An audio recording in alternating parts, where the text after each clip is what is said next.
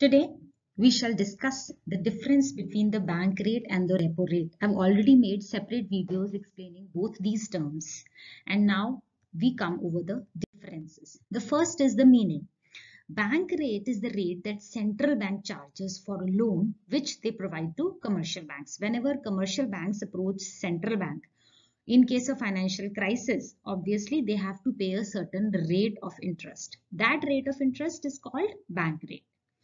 The repo rate. Repo rate is that rate which relates to the loans offered by RBI to commercial banks not without collateral. Means you will be commercial banks will be taking loan from RBI but on the basis of a collateral. That rate refers to the repo rate.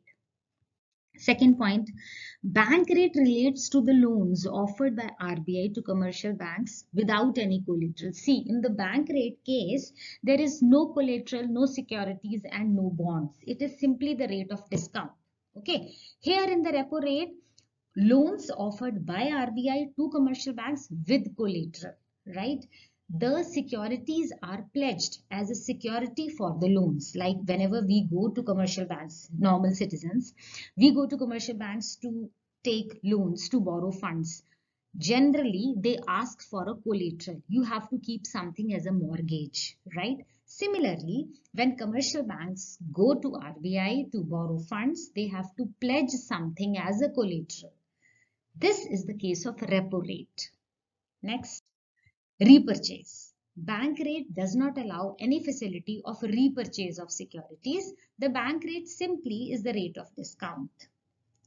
Repo rate allows repurchase of securities. The holder of securities can repurchase them at a later rate.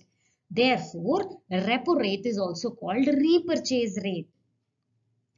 Now, uh, when they will be pledging, the commercial banks, when they will be pledging the securities with RBI. In future, when the commercial bank will be having excess of funds, they will go to the central bank and they can repurchase those securities in the case of repo rate. Fourth point is the collateral. As I said earlier, collateral is not involved in bank rate and collateral like securities and bonds are involved in the repo rate system. Next is the rate comparison. If we compare the rate between the two, bank rate is often higher than the repo rate and repo rate is always lower than the bank rate. Sixth point effect on the consumer. Increasing bank rate has impact directly on the customer as loans now become cheaper which hamper the economic growth. They are directly related to the customer. If bank rate increases, commercial banks find it difficult to lend to the people at a lower rate, they also have to increase that rate to the normal citizens. So it directly impacts the customer. If the bank rate increases, the rate from which me and you normal citizens will borrow funds from the commercial banks, that also increases.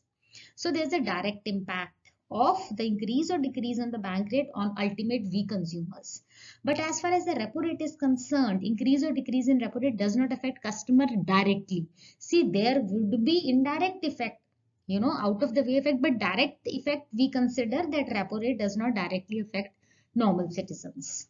Next, goal mainly to satisfy long-term goal of the commercial bank and it is used to satisfy short-term financial needs. So here I don't mean that bank rate is for a longer period. No, it is the goal. You know, we set our goals and then we proceed on that way. So if we will talk about the tenure, it will be a different point. Here I am talking about the goal. If it is the goal, then you have to write it is a long-term goal of the commercial bank. Here, it's short-term financial needs. Next comes the loan tenure. So don't confuse between these two points. Bank rate relates to the borrowings by commercial banks to cope up with their immediate cash crunch. Abhi, abhi, right now. Repo rate relates to the short-term borrowings by the commercial banks. I hope it is clear, right? Next point is bank rate, no pre-purchasing involved here. There is an existing repurchasing agreement. You have to sign that agreement beforehand for the repurchase.